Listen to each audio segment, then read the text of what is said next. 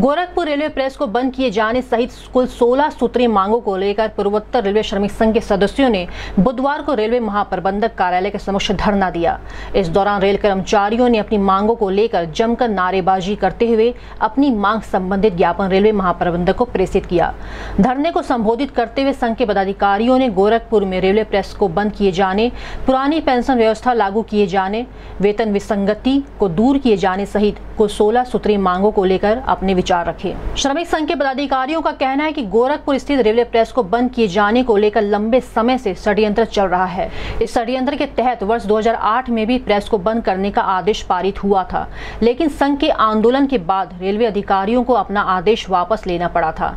श्रमिक संघ के पदाधिकारियों का कहना है कि इन दिनों पुनः प्रेस को बंद किए जाने को लेकर एक लंबी योजना तैयार की जा रही है जिसे वो सफल नहीं होने देंगे। गोरखपुर न्यूज़ संवाददाता से बात करते हुए संघ के रत्नेश्वर लाल दास ने कहा। होश में आओ शासन खोलो कान जो हमसे टकराएगा प्रेस की बंदी वापस लो प्रेस की बंदी वापस लो प्रेस बंदी वापस लो। प्रेस बंदी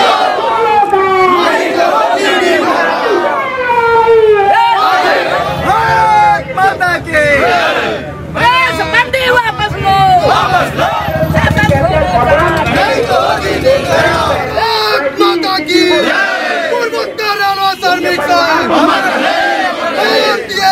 मजदूर संघ लालदास ये हमारे भारतीय मजदूर संघ के आह्वान पे पूरे देश में हर जोनल मुख्यालय पर, हर महाप्रबंधक के सामने तेरह सूत्री मांगे हैं, जिसमें पहला है कि एनपीएस रद्द करो दूसरा है हमारे भत्ते को एचआरए के भत्ते को एक एक सोलह से भुगतान करो। तीसरा है कि हमारे श्रमिकों को कैजुअल को बहाल करो। और ये है कि हमारे ड्राइवर को लोको रनिंग को सबको आठ घंटा ड्यूटी लिया जाए। इन, इन सभी मांगों को अभी बारह तेरह मांग हैं ऐसे ऐसे जो जिनके लिए आज पूरे देश भर में आंदोलन किया जा रहा है, प्रेस की बंदी या हमारे लोकल स्तर पर जो हमारे महाप्रबंधक हैं, वह अपना संज्ञान नहीं ले रहे हैं और ना ऊपर पहुँचा रहे हैं। सन 1910 में, उस 1910 में 11 में भी इसी तरह का रेलवे बोर्ड द्वारा प्रयास किया गया था और प्रेस को बंद करने का आर्डर निकला था, लेकिन उस समय सत्ता में, उस समय मान्यता प्राप्त पूर्वोत्तर रेलवे श्रमिक संघ था और उसने 2012 में लड़के यहाँ से लेके रेलवे बोर्ड तक लड़के उसको फिर से खुलवाया था। लेकिन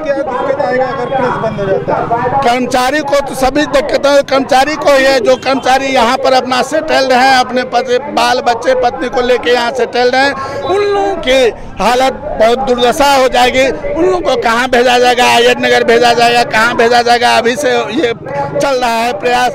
उनके जो मान्यता प्राप्त यूनियन है उनके पदाधिकारी केवल अपना सेटिंग बैठा रहा है कि हमारा कहाँ हो नहीं हो। रखने के लिए अगला कदम क्या अब अगला कदम तो ये प्रशासन सोचे इसके लिए हम लोग यहाँ से लेके रेलवे बोर्ड तक लड़ रहे हैं रेल मंत्री से मिल रहे हैं यहाँ के यहाँ के सांसद विधायक सबसे मिल चुके हैं और अगली कार्रवाई हम लोग दिल्ली कुछ करेंगे दिल्ली में करेंगे प्रदर्शन।